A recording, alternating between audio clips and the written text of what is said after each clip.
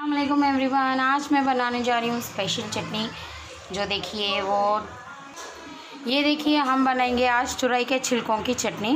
तुरई तुरई के छिलकों की चटनी है ये। ये देखिए, तुरई के छिलके अच्छे से क्लीन करके, अच्छे से क्लीन करके वॉश करिए आप लोग तुरई के। ये अच्छे से छिलकों को वॉश करके साइड में रखिए पानी निथरने के लिए। यहाँ पर लेंगे हम आठ से दस हरी मिर्ची, या हाफ़ पंच कोतमीर।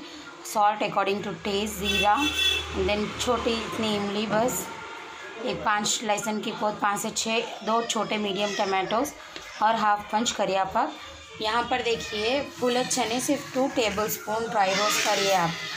अभी देखिए ऑयल गरम हो गया अपना ऑलमोस्ट फूले चने निकाल के आप ऑयल में बस पहले लहसुन डालिए, तीन से चार फिर थोड़ा सा जीरा।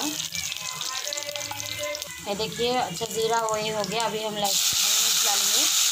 देख समझ के फिर। हरी मिर्ची के साथ साथ अपन में के छिलके भी डाल देंगे।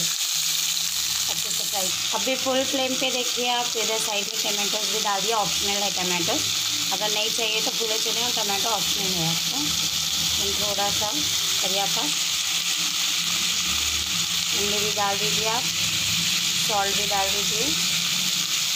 डाल के अच्छे से भून लीजिए मतलब फ्राई करिए हल्का सा ज़्यादा भी नहीं करना अपने को लेस लाइट रॉस मिल जाने तक। उसके बाद हम कोतमीर भी अपने ब्लेंडर में डाल देंगे। ब्लेंडर में फूले चने डाल दीजिए कोतमीर डाल दीजिए। हाफ़ बंच ये सब फ्राई करें तो वो जो भी छिलके हैं, वो सब डाल के ग्राइंड करिए। ग्राइंड करके बताऊँगा मैं आपको। ये देखिए, अपने छिलके अच्छे से हो गए फ्राई हो गए। स्मेल मतलब आवाज़ भी कम हो गई अच्छा। तो अभी थोड़े हो गए देखिए, फ्राई होके बिल्कुल। ये स्टेज पे आप ठंडा करके ग्राइंड करिए। बघार के लिए देखिए, फिर चटनी पीस दी अपन बघार के लिए। पहले आप ऑयल गर्म करके लहसुन लीजिए। लहसुन होते ही दूसरी चीज़ डालिए। लहसुन हो गया, अभी हम इसमें देखिए, थोड़ा सा चने की दाल, थोड़ा सा माश की दाल, ज़ीरा, राई मिक्स करके डाल देंगे ये देखिए टू टेबल स्पून के करीब डालिए, क्योंकि बघार जितना डालेंगे माशाल्लाह आपको इतना अच्छी देगी चटनी।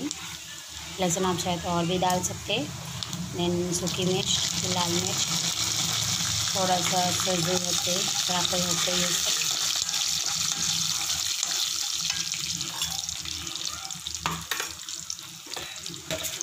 करिया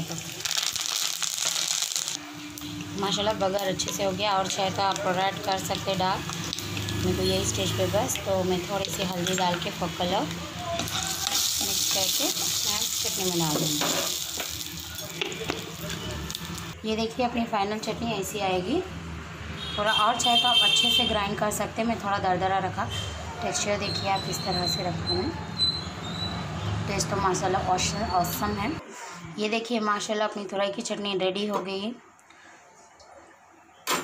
थोड़ा सा घी डालिए आप। मेल्टेड घी थोड़ा सा, बिल्कुल।